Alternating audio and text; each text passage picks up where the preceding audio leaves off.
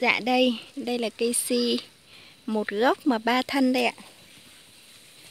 Ở núi Chứa Chan có thôi ạ. núi Chứa Chan hay là núi gì ta? Núi Tháp Tràm hả? Đó, đó là cây si một thân ba gốc. Cây si một thân ba gốc ở núi Chứa Chan ạ.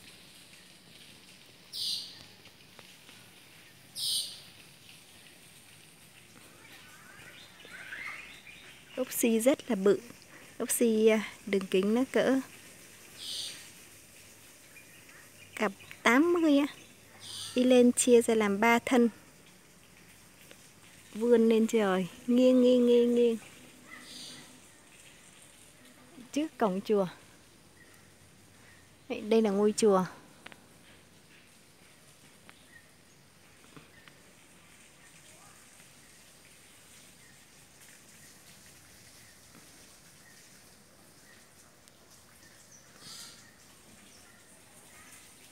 Cây si làm nghiêng đổ như vậy bao nhiêu năm tháng rồi? Chia ra làm ba nhánh. Cành những lá sum xê